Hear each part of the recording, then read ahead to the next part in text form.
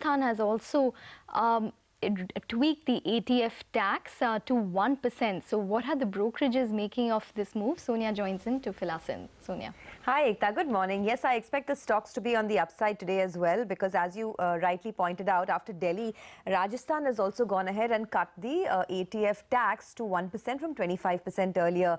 Now, this puts more pressure on some of the metros, uh, the other metros as well, to go ahead and cut the tax. And if that comes through, then that would be a big positive, as SpiceJet was just telling us. 1%, uh, uh, uh, you know, the cut in the tax will lead to a 10% savings on costs overall if it's done across the country. Now, some brokerages have put out their views. Kotak says that this announcement is a big positive for the sector, although for now the impact on the industry is limited because many of these regional routes uh, have not picked up, the airports have not been established. But once that happens, then it's going to be a big uh, positive for the sector as a whole. Currently, Northeast uh, and those regions account for a very small portion.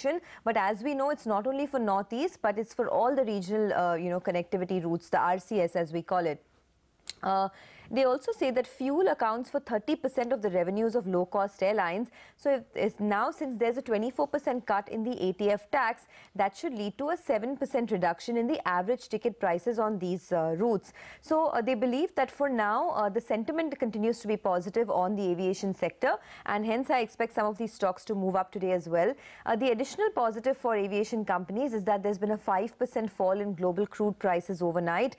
Uh, crude is now at the lowest level in the last three months at $53.6 a barrel for Brent. So that would be, mean an additional fillip for uh, some of these aviation stocks. All right, Sonia, thanks so much.